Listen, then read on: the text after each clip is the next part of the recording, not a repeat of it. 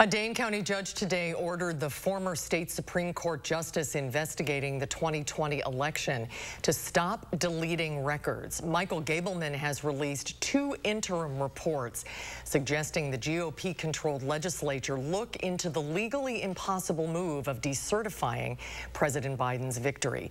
Today, a judge issued an order telling Gableman to, quote, not delete or destroy any record that is or may be responsive to open records requests.